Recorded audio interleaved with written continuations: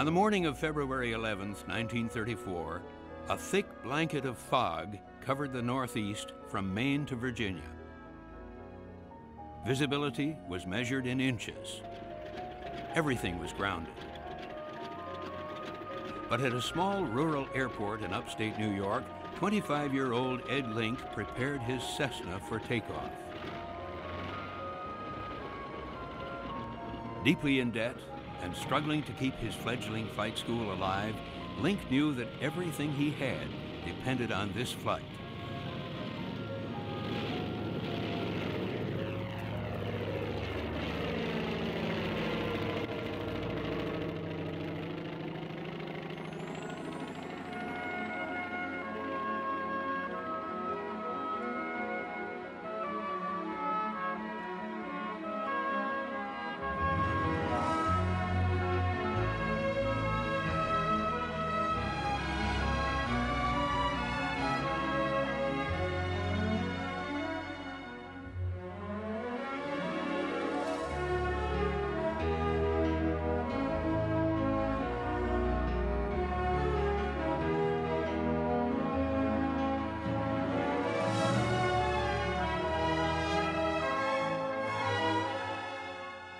What Link would accomplish that day in the skies above New York would propel him into a life of invention and discovery. Ed Link was an original. There was not anyone like him around before or since. Ed Link was a true American genius. He dreamed the big dreams and then he made them happen. Your first impression would be that he was an ordinary man, but he was a pretty incredible genius. He uh, was a modest man, but able to make connections in his mind that most of us just can't make. He was a remarkable person. Aviator, inventor, industrialist, deep sea diver. Ed Link did it all. A high school dropout at 17, he would make himself a millionaire before he was 40. It's hard to explain how important Ed Link was to the world of inventions and the world of science. He was, simply speaking, probably the most prolific inventor we had of the 20th century. He advanced in leaps and bounds how we first explored the sky and then how we explored the sea. Because of Ed Link, we were able to do things that we couldn't do before. The human family no longer thinks of the ocean as it used to before Ed Link. His father forced Ed to come to work at the piano factory. I started out at the bottom, he remembered. It wasn't what I had planned for a career, but it's curious how things work out. Ed's years at the piano factory would help mold his future. The craftsmen who worked in the factory helped sharpen Ed's innate creative abilities. He quickly became a master at building and tuning the massive theater organs with their miles of pipes and wires. Ed displayed a remarkable ability for forging the connection between his head and his hands. When he was just 19 years old, he received his first patent for a suction device he created to lift dust out of piano rolls. It was a simple little thing, Ed told a writer years later, designed to make my job easier. Ed had become the factory's most versatile employee, and his father was pleased. They thought I was going to make a nice organ builder, Ed remembered. But I had other plans.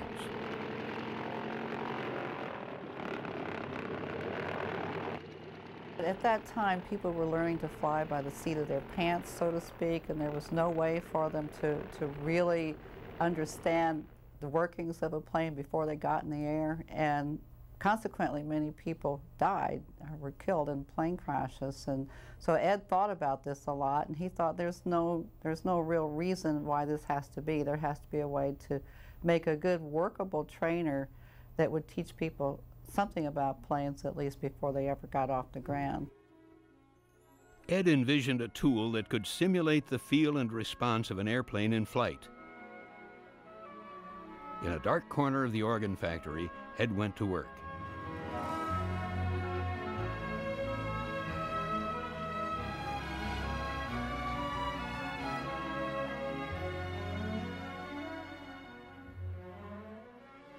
Link wanted motion for his flight trainer.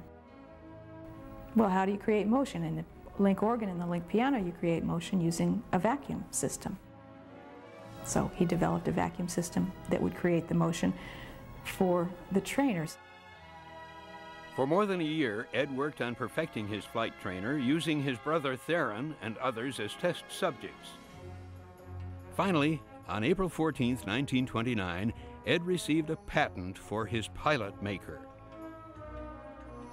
Link moved quickly and opened a flight school in the basement of the piano factory using his trainer as the primary teacher. He guaranteed to teach anyone to fly for just $85. Within two months, 100 people had signed up. Link began building additional trainers with the intention to sell them to other flight schools across the country. But in October, the economy collapsed. Millions were out of work. Few people had money for flying lessons. Link concentrated on marketing his trainer, but with little success. Except for park owners, who used it as an amusement ride. Then in December 1930, the piano factory folded, leaving Link's flight school without a home. Ed moved the flight school to a small airfield on the outskirts of Binghamton. Barnstorming when he had to, giving lessons when he could, Link, like the rest of the country, struggled to survive. But as the Depression deepened, the school teetered on failure. By 1931, two years had passed since Ed had invented his pilot maker. He had focused almost entirely on flying and perfecting his trainer. But he also found time to fall in love. Marion Clayton was a spirited and energetic reporter for the Binghamton Press. Ed had met her the year before on a blind date, and she had written a story about him and his air minded dog. Ed Link was basically a shy guy, but I think when it came to Marion, he just couldn't resist her. She was beautiful, she was a charming young lady, and he just knew that she was the one for him. June 1940, all of Europe is engulfed in war. The German Luftwaffe had begun terror bombing London. And in the skies over England, a tremendous battle raged for control of the air. The Battle of Britain would be the turning point of the air war in Europe. Vastly outnumbered, the Royal Air Force now relied heavily on Link's Blue Box to train their crews in record time. Clearly, the ability to train large numbers of pilots quickly was critical to winning the war. Air Marshal Robert Leckie, he was the head of the Royal Canadian Air Force. He said the Battle of Britain is being won on the training fields where there are Link trainers. By the end of the war, Link was exhausted. For 16 years, he had worked endlessly to build his company. He began spending time in the Canadian wilderness, hunting and fishing with Marion and his two young boys, William and Clayton. The industry he created had taught thousands of men and women to fly and helped win a world war. But Ed Link was a restless man and would soon seek a new frontier. He would find it in the deep waters of the world's oceans, where he would achieve his greatest triumphs. Ed had the kind of mind that was always seeing potential where nothing existed yet. He saw things that we're not doing yet that we're going to have to do under the oceans, and, and he realized that they're going to have to have the equipment and the um, way to survive the same as, in fact, he thought it was more important to um, to do underwater research than it was even to go to space. So he began to invent equipment that could keep you down underwater longer periods of time. In 1961, in cooperation with the National Geographic Society, Ed began work on a program he called Man in Sea. My ultimate aim is to put divers on the floor of the ocean, Ed wrote, and to live and work there at depths up to a thousand feet for days, weeks, even months. If we can do this, he added, we will have available the resources of an area the size of the continent of Africa. And Link had created a device to allow man to do just that. Ed was a guy with his eyes on the horizon all the time. He knew the interior of the sea, and he knew the dangers of decompression. And what he wanted to do was to minimize that risk, not only just for, for himself, but for all those humans who were actually going to go deep and spend time working in the sea.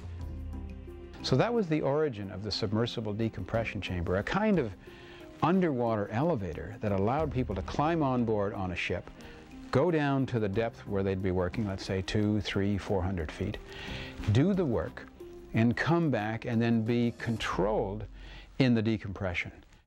On August 28, 1962, Ed tested his submersible decompression chamber off the coast of France. For eight hours at 60 feet below the surface, Ed himself acted as guinea pig. And that's what was so wonderful about the guy. This was not an engineer who built things in a laboratory and then let other people use them. He was always the first guy to test them as he said to me, you know, uh, if you want to build these things and if you're going to design them and build them, you have to have uh, the integrity to go and test them. And I like that about him. The next day, Robert Sténuit, a world-renowned test diver, spent 26 hours at 200 feet below sea level. It was, up to that time, the longest, deepest dive ever accomplished. For the next six months, Ed and his team carried out one groundbreaking experiment after another at depths never before imagined. On April 10, 1964, Sea Diver was anchored in the Mediterranean, preparing for its deepest dive to date. The small factory that Ed had started 35 years before had grown into a billion dollar industry and was now the primary simulation resource for training the men who would walk on the moon. But the aviator had moved on to a new frontier and was ready to unveil his latest creation. The deep diver was the very first uh, working lockout submarine. This was a real stroke of genius, where he, he looked at what he had learned from the deep dive uh, with the underwater station, decided that mobility was what he really wanted, and, uh, and built this small submarine, uh, the first of its kind in the world that would put divers on anywhere on the continental shelf. Now keep in mind the continental shelf is an area the size of Africa. It's 11.5 million square miles. So we would make a dive, let's say to 400, 500 feet, park the submarine on the bottom, and the divers in the back uh, compartment, in the stern compartment, would pressurize and make a lockout dive. In other words, the hatch would fall open once the pressure inside was equal to the water pressure. The hatch would fall open, and they would actually, we call it locking out, going out into the, uh, into the ocean, do their work, come back in, close the hatch, and then come back to the surface. Ed had met and become friends with Dr. Seward Johnson, executive and heir to the Johnson & Johnson empire.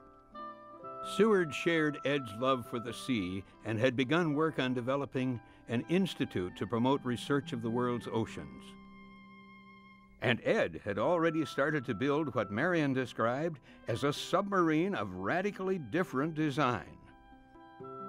He wanted to create a vehicle that would give researchers a view of the sea only dreamed of by writers of science fiction. But Ed was a man who took dreams and made them real. On January 29, 1971, at the newly created Harbor Branch Oceanographic Institute in Florida, Ed and Seward launched the Johnson Sea Link. Marion described it as the first manned diver carrying small submersible to be made available to scientific institutions strictly for marine research. Nicknamed the Bubble Sub, the Sea Link was equipped with a four inch thick acrylic sphere, providing, as Marion called it, a window to the sea.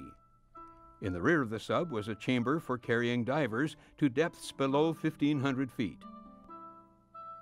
Forty years before, Edwin Link had changed the world of aviation with his little blue box made of piano parts. Now he had opened the seas for man to explore like never before. He was a high school dropout who had survived the Depression and a world war. Ed felt his life had been touched by magic. Everything I have, he told a friend, I owe to my family and to God. In 1953, he and Marion decided to start the Link Foundation. Ed and Marion, when they set up the Link Foundation, didn't set it up just to give money to people who have 100% grade levels in school.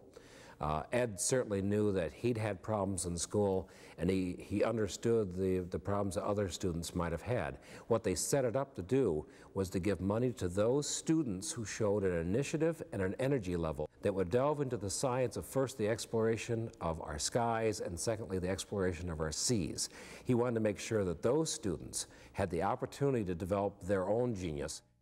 And in looking at it in retrospect, probably the Link Foundation is his true and long-lasting legacy. On May 30th, 1981, with his wife of 50 years by his side, Ed Link received his fifth honorary degree from the State University at Binghamton. Though battling heart disease and cancer, Link still dreamed of heading out for more adventures with his bride and first mate. There's this little um, anniversary card that he made for her, and he had put in it two tickets to somewhere. So they were still going to make a, a final trip. She never knew where, you know, because it didn't say, but uh, that was just shortly before he died. On September 7th, 1981, Edwin Link died quietly in his sleep at his home in Binghamton. He was 77 years old. He was laid to rest in a simple grave near his son. When I think of Ed, I think of that, that wonderful saying, and that is, to be a real explorer is not just to discover new lands, but is to see with new eyes. And uh, I think that's one of the great legacies of Ed Link. He taught a number of us to kind of look at things with new eyes. After his death, a friend wrote, Ed Link was a man who saw the sky reflected in water and altered our perception of both. He was a man who touched a spark in the minds of others, a spark that caused a nation to be proud and men to reach beyond themselves to the stars and into the unknown depths of the sea.